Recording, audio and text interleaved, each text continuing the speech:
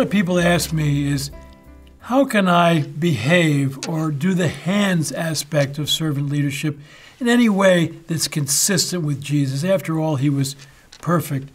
And I think of the story in the Bible where John and James bring their mother one time to see Jesus. And she says, Could one of my sons sit in your left hand and one of your right hand uh, in your heaven? You know, I mean, she thinks it's a hierarchy up there.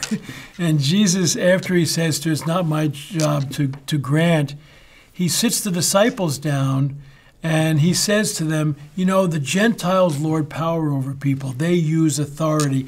Not so with you. And essentially, he said, If you want to lead, you need to serve. If you want to be first, you need to be last. Even I have come to serve, not to be served. And so, what we have to remember when we're behaving as a parent is how can I constantly ask, How can I help?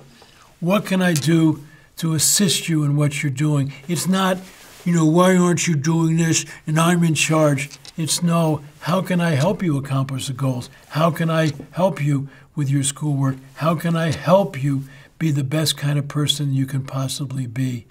That's really what it's all about.